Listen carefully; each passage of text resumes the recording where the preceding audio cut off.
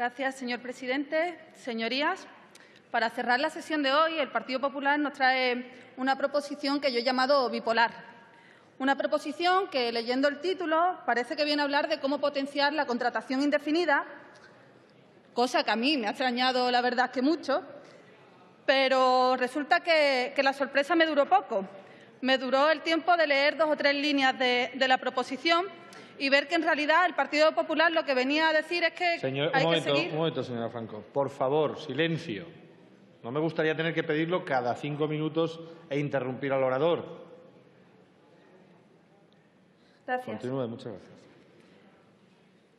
Decía que mm, la proposición, en realidad, leyendo dos o tres líneas más, lo que viene a decir es que hay que seguir subvencionando a las empresas en vez de crear realmente contrato indefinido.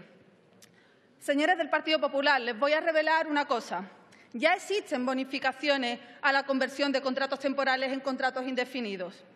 Les recomiendo que se den una vuelta por la página web del Ministerio de Empleo y Seguridad Social y miren algunas propuestas, como por ejemplo la del Programa de Fomento de Empleo o la del mal llamado Contrato de Apoyo a los Emprendedores.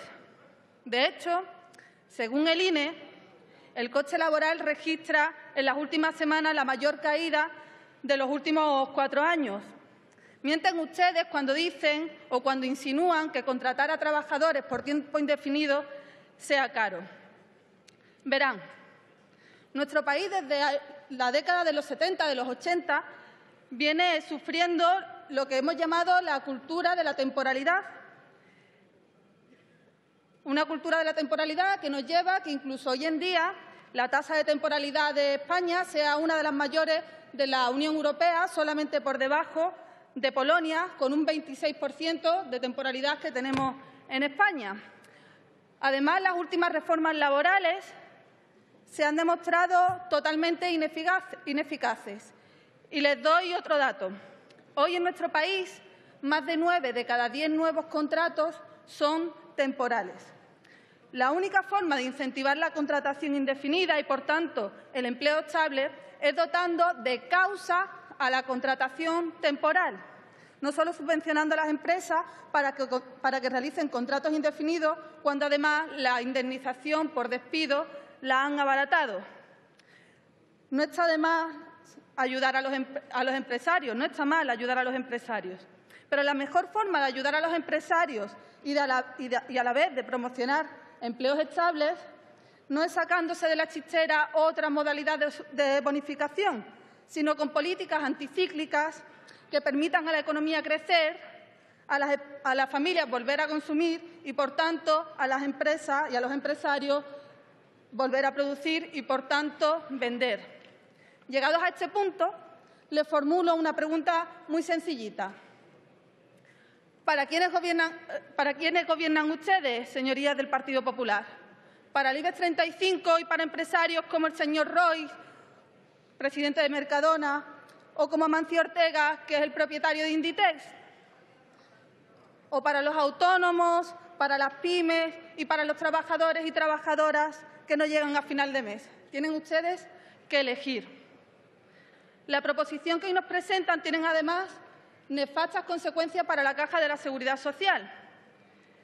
En un momento en el que el fondo de reserva de nuestro sistema público de pensiones no va a dar ni para la paga extra de Navidad de este mismo año y que además, según la IREF, la caja de, de la seguridad social se le prevé un déficit de 20.000 millones de euros para finales de este año, Ustedes lo que están proponiendo es reducir ingresos para la seguridad social y así lo único que vamos a conseguir es que las pensiones públicas no sean sostenibles y van a ustedes conseguir su objetivo, que es que las pensiones sean un negocio para las grandes empresas y para las grandes bancas de nuestro país.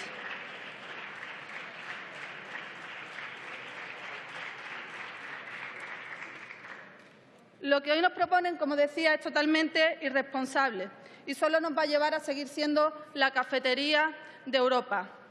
Para fomentar la, contratación indefinida, le propongo varias medidas, como reformar el artículo 15 del Estatuto de los Trabajadores, acabar con los contratos precarios, como los que hoy en día son los que más se llevan o que han aumentado en, en más de un 100%, como los contratos de una semana o de un solo día.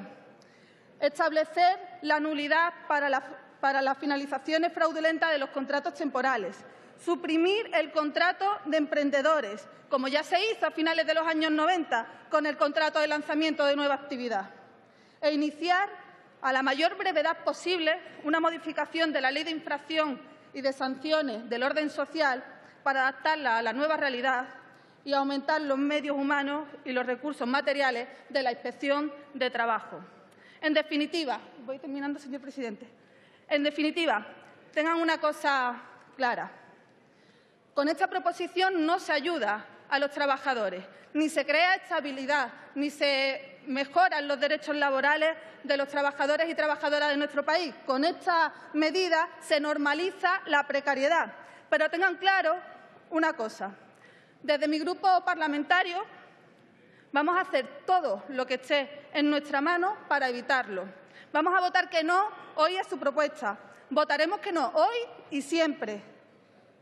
Votaremos que no a edificar en nuestro país sobre la base del cementerio social que ustedes han creado. El empleo indefinido se, fomenta poniendo barreras a la, precariedad y gobernando para la gente. Muchas gracias.